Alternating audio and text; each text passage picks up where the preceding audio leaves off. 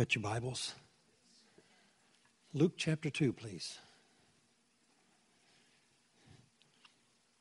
Verse 1 And it came to pass in those days that a decree went out from Caesar Augustus that all the world should be registered. And this census took uh, this census first took place while Quirinius was governing Syria, so all went to be registered, everyone to his own city. Joseph also went up from Galilee out of the city of Nazareth into Judea to the city of David, which is called Bethlehem, because he was of the house and lineage of David, to be registered with Mary, his betrothed wife, who was with child. So it was that while they were there, the days were completed for her to be delivered. And she brought forth her firstborn son and wrapped him in swaddling clothes and laid him in a manger because there was no room for them in the inn. Now there were in the same country shepherds living out in the fields, keeping watch over their flock by night. And behold, an angel of the Lord stood before them, and the glory of the Lord shone round about them, and they were greatly afraid. Then the angel said to them, Do not be afraid, for behold, I bring you good tidings of great joy, which will be to all people. For there is born to you this day in the city of David a Savior, who is Christ the Lord. And this will be the sign to you you will find the babe wrapped in swaddling clothes, lying in a manger. And suddenly there was with the angel a multitude of the heavenly host praising God and saying, Glory to God in the highest, and on earth peace and goodwill toward men. And so it was, when the angels had gone away from them into heaven, that the shepherds said to one another, Let us now go to Bethlehem and see this thing that has come to pass, which the Lord has made known to us.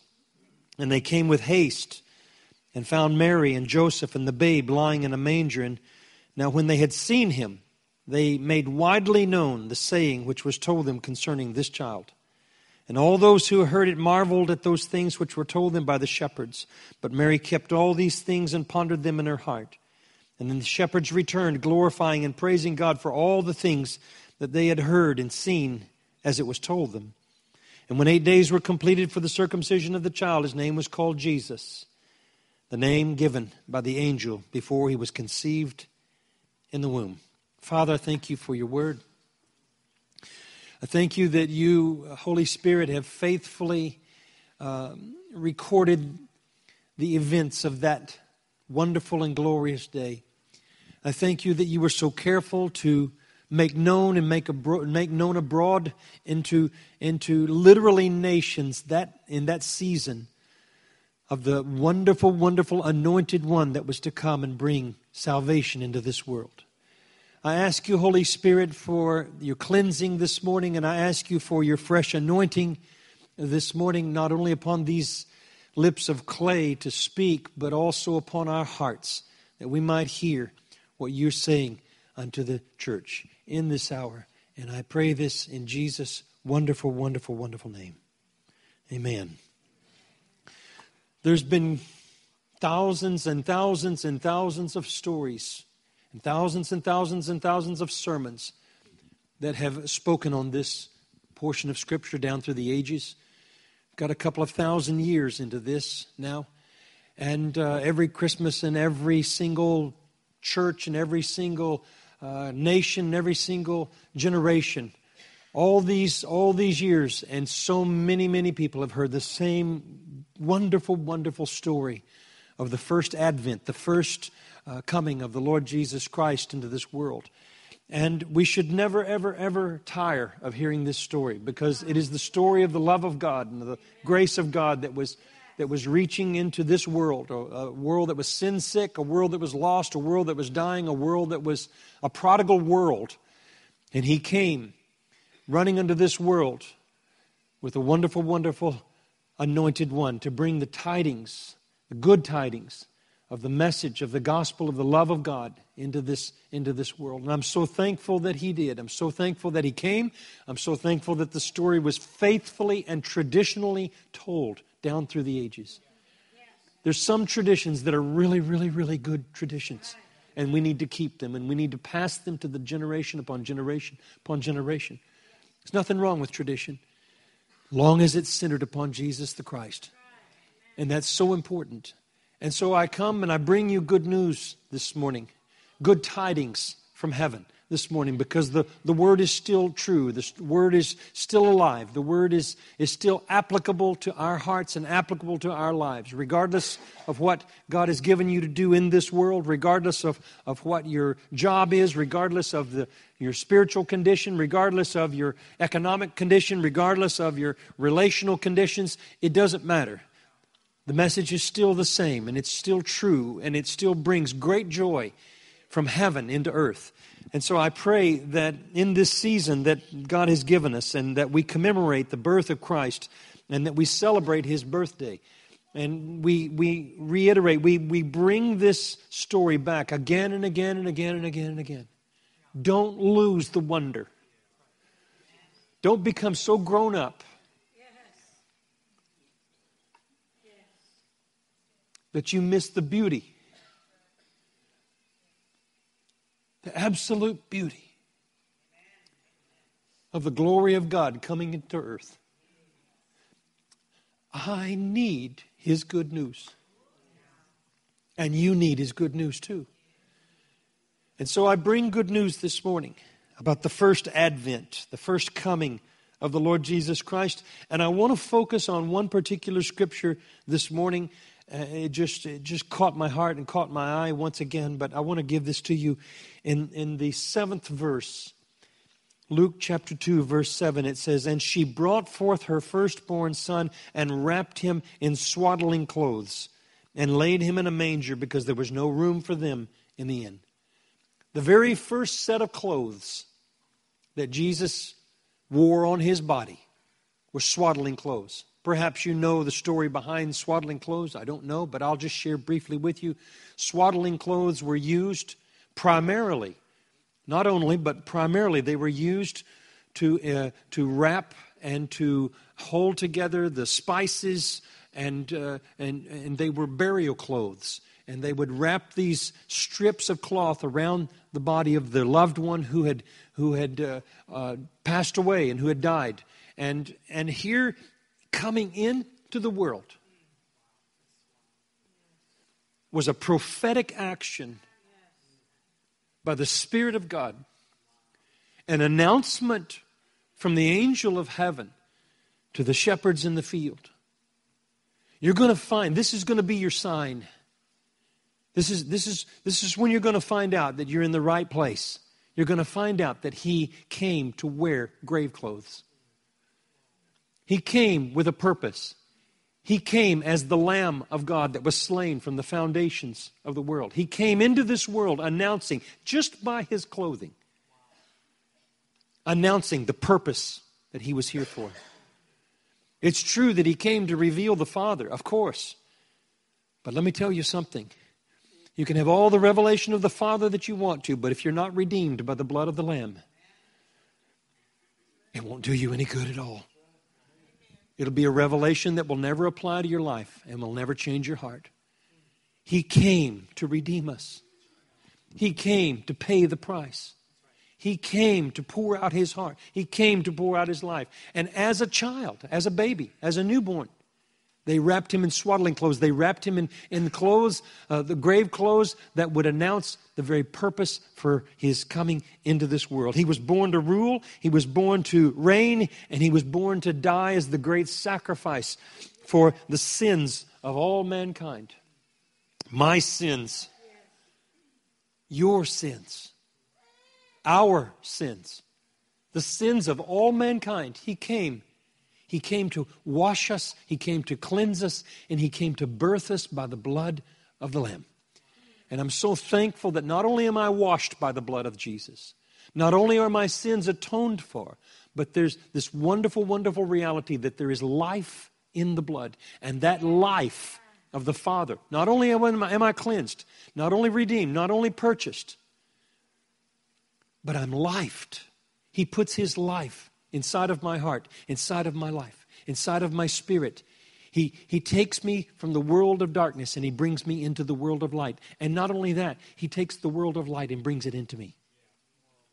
He came to, he came to change everything. Water, honey. Thank you. He came to change everything. Uh, it was prophesied. Look, look in Isaiah with me. Isaiah chapter 9, verse 6 and 7. You know these scriptures so well. Probably you know them by heart, but it's awful good to look at them. It says in Isaiah chapter 9, verses 6 through 7 For unto us a child is born, and unto us a son is given. And the government will be upon his shoulders, his shoulder, and his name will be called Wonderful, Counselor, Mighty God, Everlasting Father, Prince of Peace.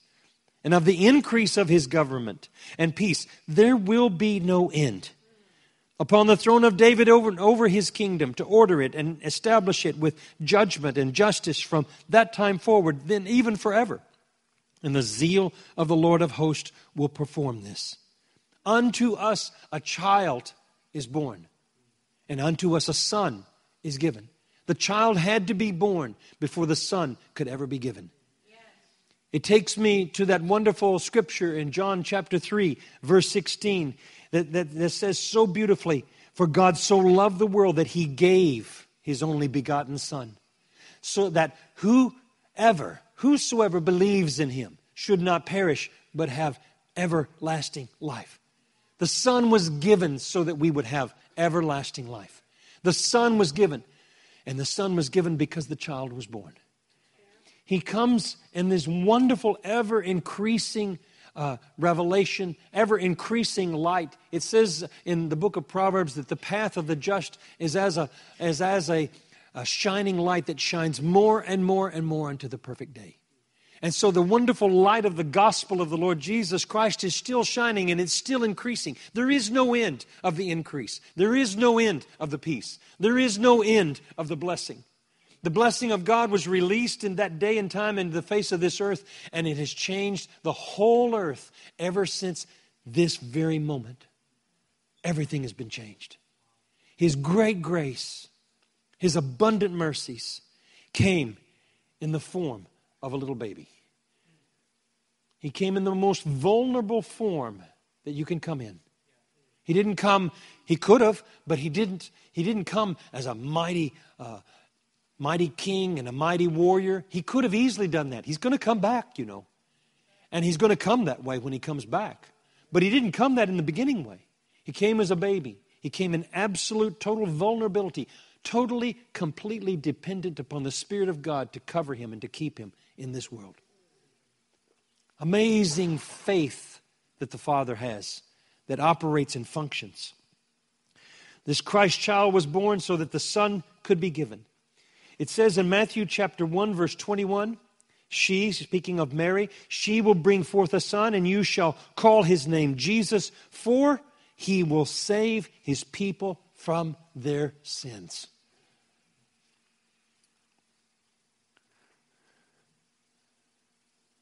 I don't need to ask the question how many people in this room have sins?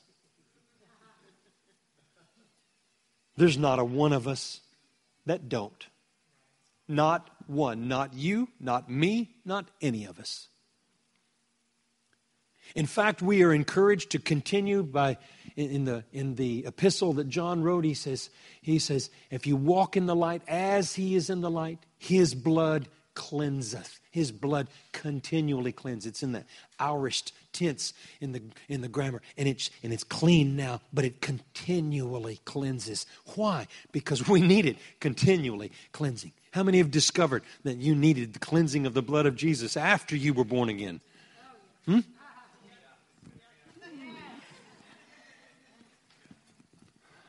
Me. Me.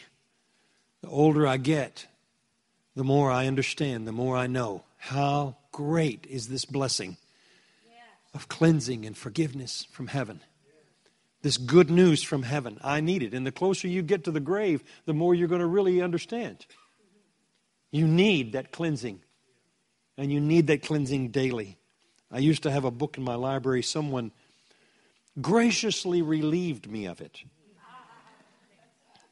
God bless the soul who holds it. But it's a, it's a wonderful old book. I can't find it. I've tried to find it uh, uh, ever since I was relieved of it. And so I'm searching. I'm still searching. I'm going to continue searching. I like looking for books anyway. But it was, the, it, it was a book that, that recorded the last words of many, many, many, many, many human beings just as they were dying. And do you know what the vast majority of them said? Their last words Wash me again, cleanse me again. It's amazing how close we come to God that everything gets reduced to simplicity. It's just all the stuff that we think that is important as we grow up and as we walk in this journey in this lifetime. Suddenly, there's a lot of things that are just not that important. Cleanse me, wash me. Once again, wash me in that blood. That was the cry of many, many people. You shall call his name Jesus, for he will save his people from their sins. Jesus literally means Jehovah saves. He is the one who brings that divine, the Greek word is sozo, that wonderful, wonderful salvation from heaven. The root word of, of salvation uh, uh is, is that word sozo, and it literally means to save, to heal, to deliver, to make whole. And he came to save, He came to deliver, He came to heal, and He came to make me whole. He came to conform me and to make me into His image, and you too. And so we have this wonderful, wonderful season that God has given to us. And, and, it, and it's, it's this, this, this beautiful picture of healing and salvation and, and deliverance and wholeness, body, soul, and spirit. And so, because He came, because he took upon him clothes, the swaddling clothes, and he was wrapped in swaddling clothes, and he was laid in a manger. And that was the sign for all of the shepherds to see. Because he was placed in that, in that place and, that, and dressed in those clothing, he was announcing, the Spirit of the Lord was announcing to every generation afterwards the purpose that he had come for. And I want to tell you something his purpose has never changed. His purpose remains the same to this day. Jesus Christ is the same yesterday, today, and forever. And those wonderful, wonderful swaddling clothes are so significant because you know what that tells us about? It tells us that He took upon Himself our iniquities. He took upon Himself. Listen, listen to this. It's in, it's in uh, Isaiah 53. It says, verse 4 and 5, Isaiah 53, 4 and 5, it says, Surely he has borne our griefs and carried our sorrows. Yet we esteemed him stricken, smitten of God, and afflicted, but he was wounded for our transgressions. He was bruised for our iniquities. The chastisement for our peace was upon him, and by his stripes we are healed. And so, this wonderful, wonderful salvation that was brought to us this wonderful, wonderful prophetic word that was given to us that you're going to find the babe wrapped in swaddling clothes. Just that fact alone, just that, just that revelation alone was speaking the gospel of the kingdom to us, even as he was a little baby. And he was announcing to the whole world, and he's announced to the whole world every single generation. He wore my clothes of death. He wore my sin. He, he took upon him my iniquities. He took upon him my rebellions. He, he brought them, He took them, He bore them, He carried them, He wore them. Why? So that I could wear His. That which is rightly given to the King of glory robes of righteousness, robes of glory. When I leave this world, and when you leave this world, we're washed in the blood of the Lamb of God. I'm telling you, we're not going to leave this world in swaddling clothes. We're going to leave this world in kingly garments robes of righteousness, the white righteous robes of the Lord Jesus Christ. We're going to be clothed in the glory of the living God. And if we had somehow had these amazing eyes to be able to see in that dimension, the truth is, is that we're already given those clothes. They're already given to us. We already walk in the righteousness of the Lord Jesus Christ. We already walk in the joy of the Lord. We're already walking in the peace of God that passes understanding. And do you know why it was possible? Because he came and he was wrapped in swaddling clothes. He came and he took my sins. He came and he took your sins. He came and he carried all of the iniquity of the whole world. And he bore them gladly. And he rose up, and he grew up, and he walked as a man.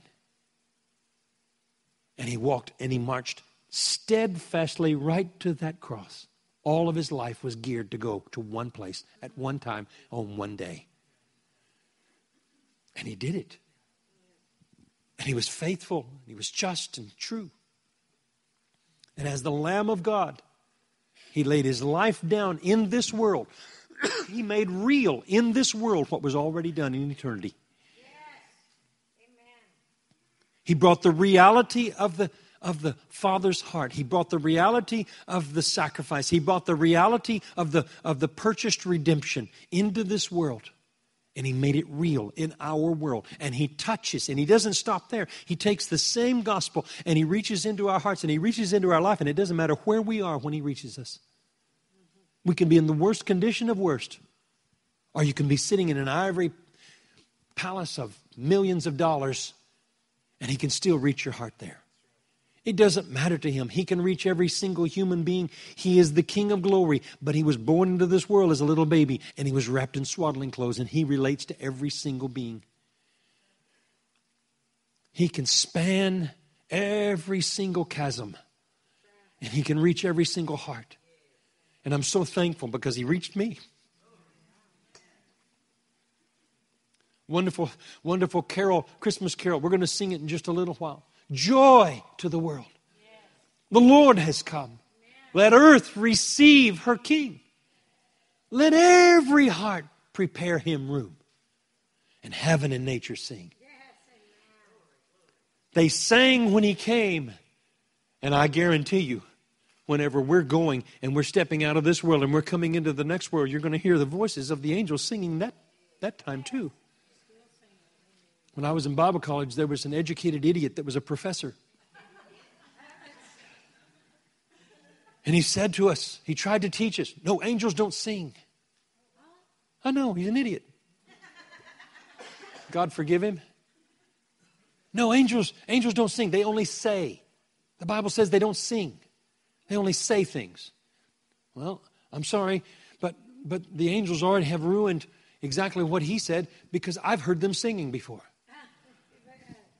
Oh, yeah. They do sing. They sing. It's the highest, it's the highest form of speech there is, is singing. And oh, the praise, and it's why we sing, and it's why we praise, and it's why we adore Him, and it's why we, we, we, give, our, we give our voices to the highest expression of worship. We sing to Him.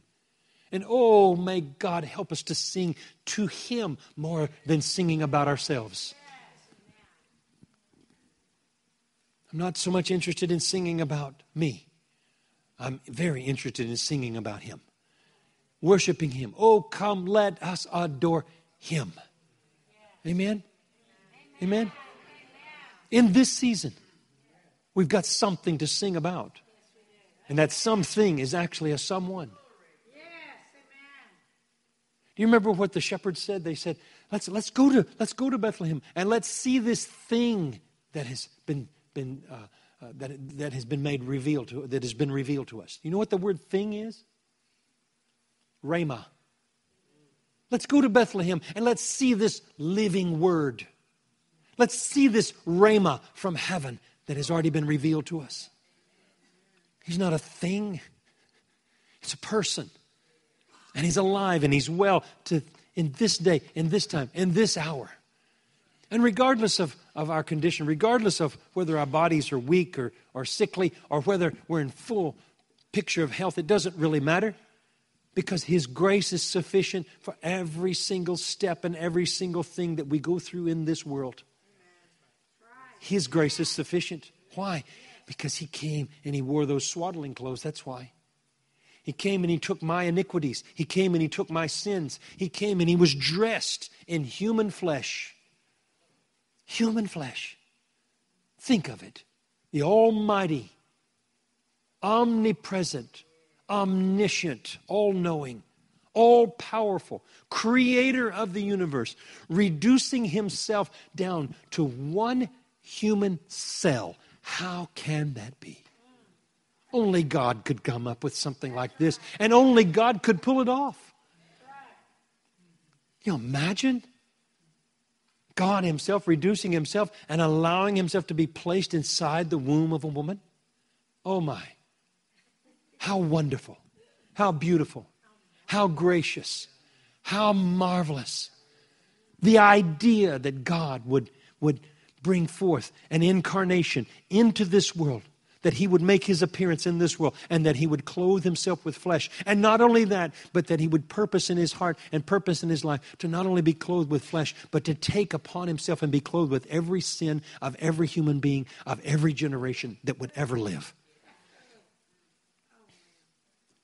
And take our punishment for them. Amazing. It's all there, right there in the very, very, very beginning. If we only had that, that would be enough. That's the good news. It's important, you know. My wife, we have this amazing, my wife and I, we have this amazing dynamic between us of pink and blue, you know. She's pink and I'm blue, but somehow, some way, there's some things that I'm more pink and she's more blue, and, and she's more blue and I'm more pink, and that's a strange thing to say, but it's true. She'd like to have, just, just give her the whole ending of the whole story. She doesn't want the details of anything. And I live for details. The beauty is found in the details. The wonder is found in the most minute little things. And in these things, the angels of heaven paid attention to the most minute details. Here's your sign. Here's your sign. You're going to find the babe, and he's going to be wrapped in swaddling clothes. The angel said that. They paid attention to details. I find that God pays attention to the details. And He reaches into our hearts and He reaches into our lives. And He lets us see and He lets us know and He lets us understand that every sickness, every iniquity, every rebellion, every sin that we have ever been involved with, whether it was instigated by us or it was done to us, it doesn't even matter. Every single thing that He took it upon Himself and He willingly, willingly drank the cup of iniquity and He willingly took our sin upon himself. This was declared in the very, very beginning. And oh, what a glorious message it is. The message of salvation is the message of Christmas, and the message of Christmas is the message of salvation. You cannot separate them, they're one and the same. And it's so beautiful and it's so wonderful. And so, in this season, when we're giving gifts and we're rejoicing and we're singing songs and we're and we're joying to the world, for the Lord has come, and we receive our King. Don't forget for one moment why he came. And don't forget for one moment that, that his purpose never, ever changed. There was a wonderful man of God. His name was Robert Murray M'Cheyne. And he was this amazing, uh, amazing young man. And he loved the Lord with all of his heart. And he, and he, had the gift of writing and he had this gift and he would he was a poet and he was and he was he was such a wonderful young man of God and he and he wrote this amazing poem and and there's this this this one verse of the poem that is that is stuck in my heart from the from the moment that I read it. It was like it was burned. It was etched into my heart from the moment that he that I read what he had written. And he lived many many many many many years before I was ever born Robert Murray M'Cheyne, in one of the, the, the, the verses of one of his poems, it says, when this, when this passing world is done, when has sunk yon glaring sun, when we stand with Christ in glory, looking o'er life's finished story, then, Lord, shall I fully know, and not till then, how much I owe. We owe him everything. He owes us nothing. And somehow, some way, we have a tendency to get it all turned around. And if we're not careful, we'll let the human attitudes and the human thought processes and the human mores and the human entitlements even get into the church to where we think that we're entitled to something. The truth of the matter is, He's entitled to everything. He's worthy of it all. And oh, how we need to turn our hearts and turn our eyes upon Jesus, and we need to look at Him. We need to gaze upon Him. When those shepherds went into that manger scene, they walked into that barn with all of its fragrances. You ever grown up around a barn? You ever have to shovel out the stalls? Huh? Yeah. Isn't it a wonderful fragrance? That's where he was born. It wasn't in a nice, clean environment. He was relegated to the place where the animals were. He was relegated to the lowest position of the low and his baby blanket was swaddling clothes. That's my Jesus. He went to the lowest of the low to find me. That's where he went. He went to the lowest of the low because that's where I was. And if all of us had eyes, we would all see and we would all understand that that's where we all were. It doesn't matter what name brand clothes you wear now, because there's coming a day when those clothes won't matter at all. There's only one set of clothes that's going to matter in the end of this thing, and that's the clothes of the righteousness of the Lord Jesus Christ. That's the, that's the shoes of his salvation upon our feet.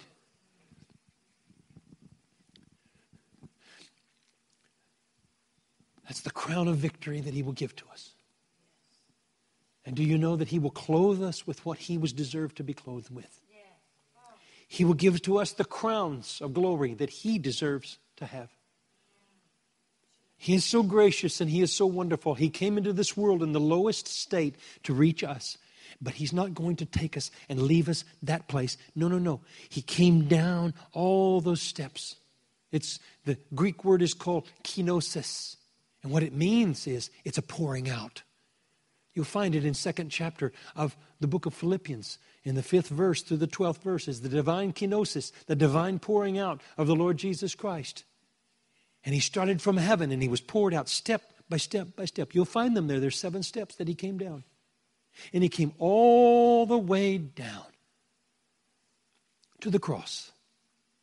Every single step of the way. And he announced it when he was born in this world. And so, in this season, this wonderful season that we set aside every single year, rightly so, rightly so. I know that let the theologians argue about the exact day. Don't worry about it. Nobody, I'll give you a secret, nobody really knows except the one who was there. Only God knows, and He's not telling it doesn't really matter. What matters is, is that it's real in my heart. Yes. That, that he's birthed in here. Not only was he birthed in this world, but, but then he is birthed in here. And he comes in with the same level of humility. He comes in not demanding things. He comes in not trying to, to push you around and, and make you do this and make you do that. No, no, no, no, no comes in like a little baby from the very beginning. And it's our privilege and it's our honor to learn how to receive Him and to nurture Him and to let, if you can imagine, it's, it's there for, for the imagery of it, for the understanding of, of how this, of course, he's, he's God Almighty, of course. But the truth is, is that He came as a babe. And when we're born again, we're made as babes in the kingdom of God. But, but the babe of Christ Jesus comes into our heart. And, and everything changes when he comes in. We sing it. Just one touch. Well, let me tell you something. That one touch lasts for eternity. It's going to last for eternity. We're going to have more, of course, but it's really just an, an, a revelation, an unveiling of what has already been done. He loves you. He loves you so much. He loves you so much that he came as a babe. He loves you so much that he came and he submitted himself to the Father's heart, to the Father's will. He loves you so much that he came and he, and he took upon himself all of the sin and all of the iniquity that you would ever commit and that you would ever even think of committing in your life, in my life, in our lives, in our generation, and in every generation past, and if he tarries, every generation to come. He covers it all. His grace, His grace was announced when He came as a baby. You're going to find Him. He's wrapped in swaddling clothes. And so you, when you see the pictures of the manger and when you maybe go and visit a place where they're reenacting and, and, and bringing forth a, a, a nativity scene where you see the baby Jesus there in the manger and everything looked so nice and clean and wonderful in that day and in that time and in that place, it wasn't so nice and clean and wonderful. It was difficult. They were not wealthy. And he who owned all things humbled himself to reach every single one of us in every single one of our conditions. And he knew all the way back then what would happen in the 21st century. And he knew exactly your circumstances, and he knew exactly my circumstances. And the angels are declaring joy to the world. The Lord has come. Let earth receive her king. Hallelujah. Why don't you stand?